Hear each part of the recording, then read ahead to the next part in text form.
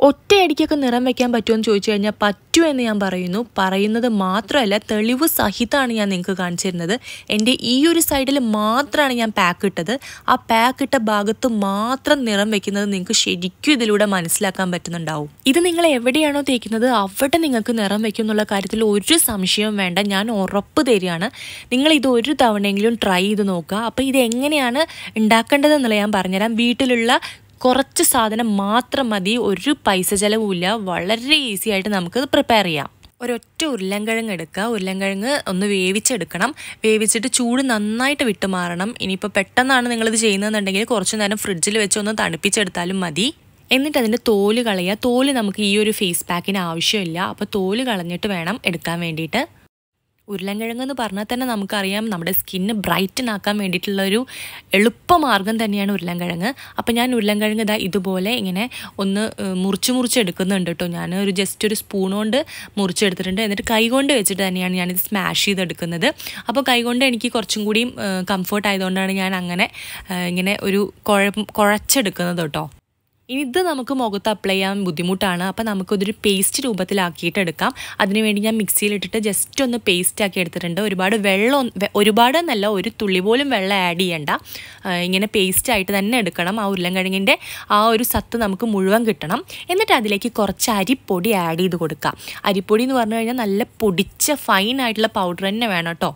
ഒരുപാട് അരിപ്പൊടിയൊന്നും ആഡ് ചെയ്ത് കൊടുക്കണ്ട. കാരണം ഉരുളൻകിഴങ്ങ് തന്നെയാണ് ഇതിന്റെ ഹൈലൈറ്റ് നമ്മുടെ ഈ ഒരു പാക്കിന്റെ ഹൈലൈറ്റ് ഉരുളൻകിഴങ്ങാണ്. അപ്പോൾ അത്രയും അധികം ഒന്നും ആഡ് ചെയ്യേണ്ട. കുറച്ച് ആഡ് ചെയ്ത് കൊടുക്കുക എന്നിട്ട് നന്നായിട്ട് മിക്സ് ചെയ്യുക അടുത്ത ഇൻഗ്രീഡിയന്റ് എന്ന് പറഞ്ഞു കഴിഞ്ഞാൽ തൈരാണ്. തൈര് നല്ല കട്ട തൈര് തന്നെ ആയിക്കോട്ടെ. കട്ട തൈര് ഞാനിപ്പോൾ യൂസ് ചെയ്യണത് കടയിൽ നിന്ന് വാങ്ങിയ നല്ല കട്ട തൈരാണ് കേട്ടോ അപ്പോൾ നിങ്ങൾ എങ്ങനെയാണെന്ന് വെച്ചാൽ നിങ്ങളെ വീട്ടിലുള്ളത് എന്താണെന്ന് വെച്ചാൽ എടുക്കാം. അപ്പോൾ ഞാൻ രണ്ട് ടീസ്പൂൺ കട്ട തൈരാണ് ആഡ് ചെയ്തിരിക്കുന്നത്.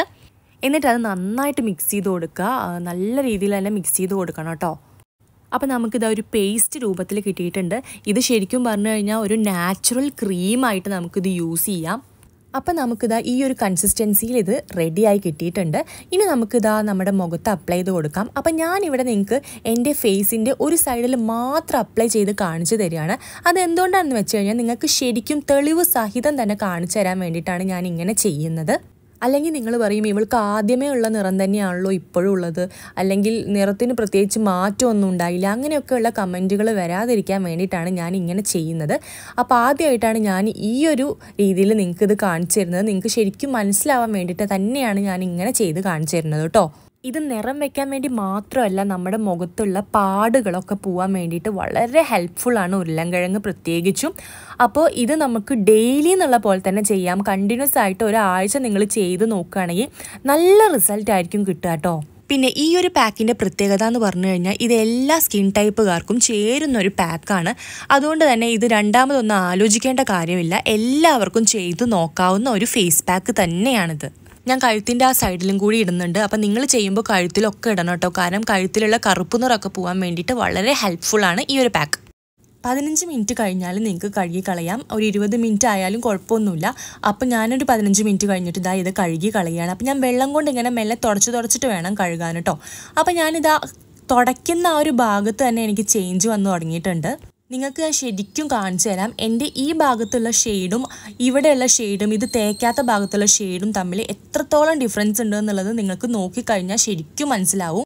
അതുകൊണ്ട് തന്നെയാണ് ഞാൻ മുഖത്ത് തന്നെ ഇട്ടിട്ട് മൊ കയ്യിലും കാലിലും ഒന്നും ചെയ്ത് കാണിക്കാതെ മുഖത്ത് തന്നെ ഇട്ടിട്ട് ഞാൻ കാണിച്ചു തരുന്നത് എന്താണെന്ന് വെച്ചാൽ നിങ്ങൾക്ക് ശരിക്കും അത് മനസ്സിലാൻ വേണ്ടി ഒരു ഭാഗത്ത് മാത്രം ഇട്ടത് ശരിക്കും മനസ്സിലാക്കി തരാൻ വേണ്ടിയിട്ട് തന്നെയാണ്. അപ്പോൾ നിങ്ങൾക്ക് ഇത് കാണുമ്പോൾ മനസ്സിലായിട്ടുണ്ടാവും എത്രത്തോളം ചേഞ്ച് വന്നിട്ടുണ്ട് ഈ ഒരു പാക്ക് ഞാൻ ചെയ്തപ്പോൾ എന്നുള്ളത്. അപ്പോൾ ഇതാ ഈ ഒരു ഭാഗവും ഈ ഒരു ഭാഗവും ഒന്ന് നോക്കുക. നിങ്ങൾ വേണമെങ്കിൽ ആദ്യം ഒന്ന് നിങ്ങളുടെ കയ്യിലോ കാലിലോ വിശ്വസിക്കാൻ ബുദ്ധിമുട്ടുള്ള ആൾക്കാർ കയ്യിലോ കാലിലോ ഒക്കെ ഒന്ന് ചെയ്ത് നോക്കുക. അപ്പോൾ തന്നെ നിങ്ങൾക്ക് അതിന്റെ ഒരു ഡിഫറൻസ് മനസ്സിലാവും. അതിനുശേഷം നിങ്ങൾ മുഖത്ത് അപ്ലൈ ചെയ്ത് കൊടുത്താൽ മതി. ഇനി മുഖത്ത് അപ്ലൈ ചെയ്യാൻ മടിയുള്ള കൂട്ടത്തിലാണെങ്കിൽ ഈ ഒരു രീതിയിൽ കയ്യിലും കാലിലൊക്കെ ഒന്ന് ചെയ്ത് നോക്കുക.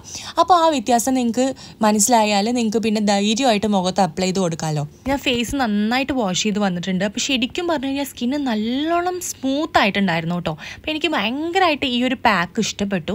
മുഖത്ത് ആ കരിവാളിപ്പൊക്കെ നന്നായിട്ട് പോയിട്ടുണ്ടായിരുന്നു കേട്ടോ അപ്പോൾ നിങ്ങളിത് ട്രൈ ചെയ്ത് നോക്കി നിങ്ങൾക്ക് റിസൾട്ട് കിട്ടിക്കഴിഞ്ഞാൽ എന്തായാലും കിട്ടും അത് ഉറപ്പാണ്. കിട്ടിയിട്ട് ഇവിടെ വന്നിട്ട് കമന്റ് ചെയ്യണം. അപ്പോൾ നെക്സ്റ്റ് വീഡിയോയുമായിട്ട് ഞാൻ ഉടൻ തന്നെ വരാം. ടാറ്റാ.